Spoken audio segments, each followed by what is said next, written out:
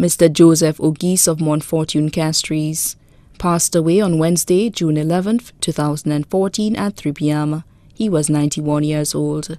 Left to mourn his wife, Agnes Daphne Auguste of Morne Fortune Castries. Four children, Samuel David Auguste of Toney, Alabama, USA.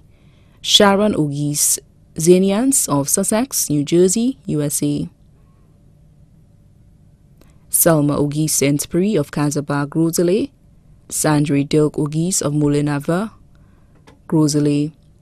Sons-in-law Nicholas Zayans, Tadia Saint-Prix. Daughters-in-law Anne-Marie Auguste, Michelle Auguste. Six grandchildren, Keela Auguste residing in Texas, USA. Carlton Herman residing in Florida, USA. Donna Nicole Auguste Zayans residing in Sussex, New Jersey, USA.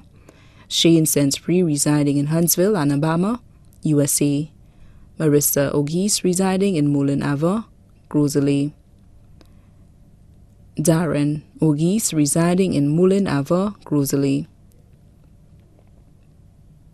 One sister, Margareta Auguste Philip of Vieux-Fort. One niece, Miss Vianney Japierre, known as Meme of Vieux-Fort. Many other relatives and friends, too numerous to mention. The funeral service of the late Mr. Joseph Auguste will be held at the Seventh-day Adventist Church on High Street, Castries, on Friday, July 4, 2014 at 2 p.m. And then the body will be laid to rest at the Choc Cemetery. The body will be viewed at the site of the church at 1 p.m. The body now lies at the Ramballis Funeral Parlor, Calvi Road, Castries.